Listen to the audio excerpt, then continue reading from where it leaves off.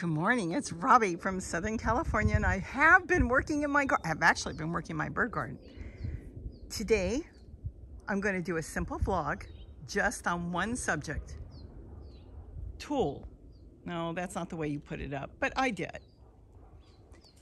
Let me tell you something. If you are having any rodent issues, any bird issues, it is absolutely the best $10 you'll ever spend on buying this stuff. No, this back half of the garden, I think a lot of you already know, somebody dumped raccoons and now we find out it's skunks and possums and well, that's not gonna happen by them anymore, but I don't know what other people are gonna do. But in the meantime, the biggest problem, I don't worry about skunks too much, are actually the ground squirrels.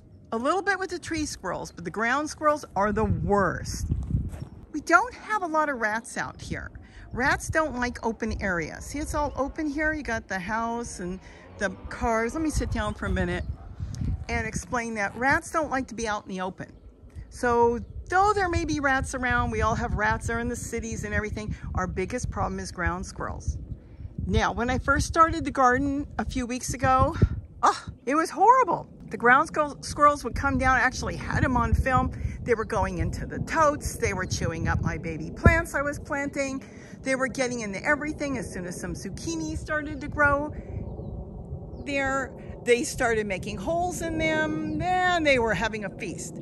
I don't mind a little bit, but hey, I'm putting out a lot of work and I want to continue on down. I'm going to start that anytime, but I got this part done, the cardboard boxes, and then all the totes here on the chairs and on the ground.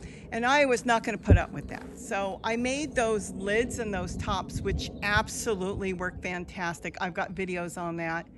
You make them out of tote lids and that will keep them out. Then they got into the box garden and that's where they started going through the squash. So I didn't have time. And as you can see, I came out here with my bolt and I just strung it along there. I keep telling you I'm going to put it up better, but I don't know if I'm even going to bother right now. It kept them out. Every place I dropped tulle, they left. Then they wreaked havoc on my truck bed. I am working out here, coming out here the next morning or in the afternoon, sometimes in the afternoon after I worked, and my squasher chewed to the nub.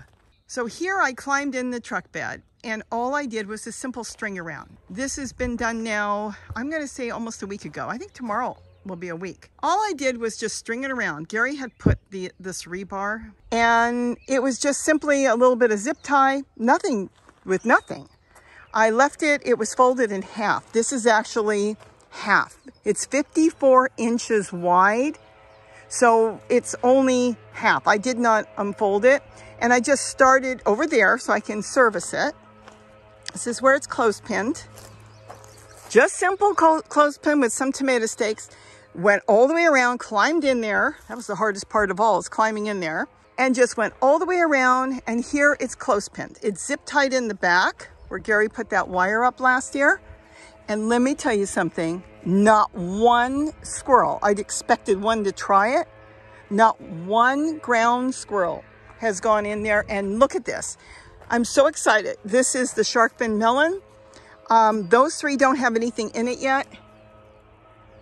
I haven't planted anything in those three, but I'm going to do spaghetti squash since I have so much. This is spaghetti squash. That could be, oh no, no, that's not, it could be snail damage. I didn't do much with the snails, but I got rid of the ones I found and they haven't come back in anymore, snails. They usually climb up the side. Snails are not thrilled with tulle either. It's worth a try. And this was the one that they chewed to the nub. I had actually got that one. The nursery gave it to me. That was the butternut squash and they chewed it to the ground, but look at that, it's coming back. So we'll see. And then that's um, zucchini hybrid, I believe. So I'm gonna get something back there, unless they do kabocha, and I've got some other squash I'm starting. I'm trying to do vining squash here, and then doing non-vining squash, the ones that don't leave, in the totes over there. Kind of, that's the way I'm trying to organize myself, but doesn't mean I'm organized. And then of course, now that there's no squirrels or anything, look at this. That is a field of Swiss chard. It's not that I want it in there, but I'll leave it. I'm going to harvest it and eat it. So what it is, is why in the world, let me, I'm going to sit down again. Isn't it beautiful out here today? I've been watching the goldfinches take their babies around, multiple pairs, and they're showing their babies food and stuff. What it is, is the squirrel will maybe take a leap and try to jump on it. And the moment they get their nails in it, think of their nails. They're super fine. Look at your dog's nails. They're really big, right? Think of a cat's nails. They're super fine. Well, that's how their nails are. And when they touch the tulle, they just touch it. It gets caught on the tip of their nail and they get scared. They don't, they can't get stuck in it. And nothing, it can't hurt them at all. It doesn't hurt birds either because birds land on it and then they leave. And I'm not trying to get birds out of there or I would have put it across the top. I'm just dealing with the critters right now. So the moment they get their nails stuck, they go, oh my gosh, this is a trap. I got to leave. This is not the place to be. And it's fantastic. They left. So that should do really good. And I may be able to just leave it tulled like that. I was going to put some stakes around the two areas where the cardboard boxes are. And right now it's just draped. Now, it's possible they may not come back because they have a memory of the tulle there and them getting their little nails stuck in it. And they might say, no, this is dangerous. Why should we go here? We'll go somewhere else. It has worked fantastic. So anybody that's got questions about it, just try it. You know, I buy mine on eBay. Yes, Amazon's got it. I'm. You, you, can go to Joann's fabric store. You ask for tulle. It's the netting that they do wedding dresses out of and all that. I can date myself and say slips. It's a simple material to get. Now, if you go to Joann's or go to a fabric store, it could run you a couple bucks a yard, which is cheap compared to what fabric sells for. But I get it on eBay I have nothing to do with them. I do have an affiliated link under there and you can use it or not. But the thing is, I love them because they're they're in California. They ship fairly quick, 54 inches wide by 40 yards. That's what this bolt is, 40 yards.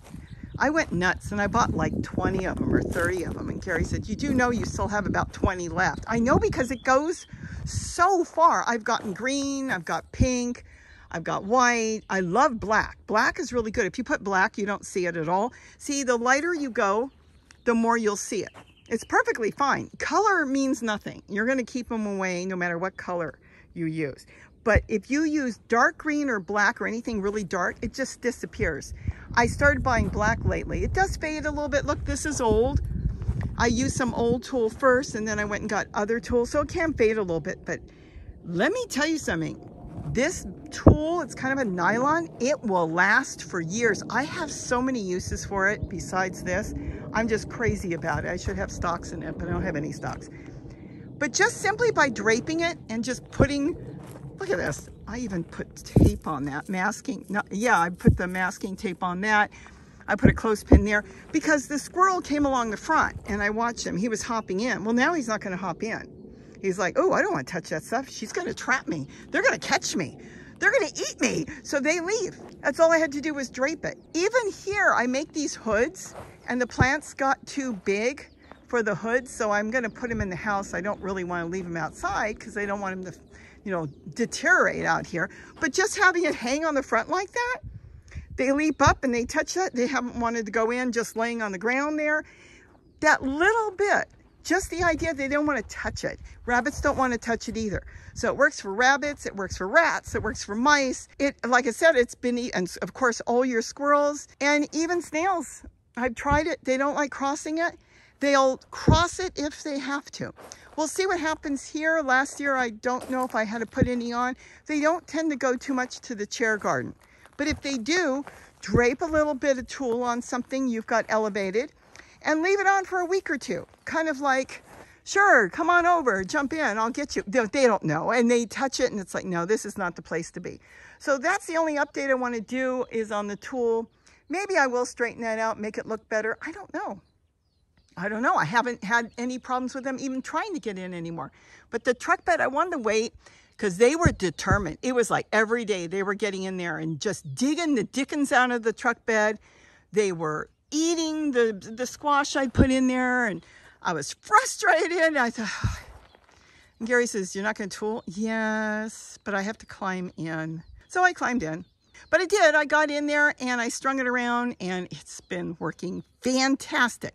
Once the plants take hold and they get big, usually by then they don't do too much damage. It's when they're so young and small and it doesn't take much to, you know, end the life of a tiny baby plant. But the bigger ones, if the birds come and chew on the leaves, I don't have a problem with that because the goldfinches have been bringing their babies. You'll know it's their babies because you'll have the mom and the dad, which is two, and then usually three or four babies following them, and they're all screaming, and they sit on top of the leaves of the squash plant to eat the leaves a little bit, but I just love it. So try Tulle if you're having a problem with critters. It's worth it. And if you don't want to go online and buy it on eBay or Amazon, I get mine on eBay.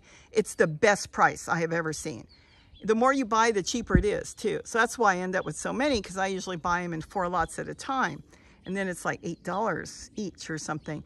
But you know, if you're not sure and you're growing a little bit, go to the store. You can sometimes you can find it at the thrift store. I actually found it once at a yard sale, a bag of it for like a quarter. But you know, go to the craft store and you want to go to a fabric store and maybe buy a yard and try it and see what you think. Just buy one yard. It's worth it. So with that, I want you to all have a wonderful day. I'm going back to work. I'm working in my bird garden and I'm planting some flowers. Have a great day and don't forget to eat what you grow. Bye-bye.